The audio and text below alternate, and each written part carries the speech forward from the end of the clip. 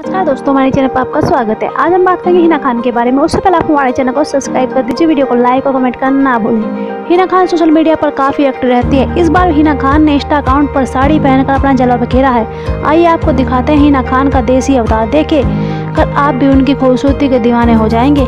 Multi printed sari और matching blouse के साथ हिना खान बेहद ही खूबसूरत नज़र आ रही हैं।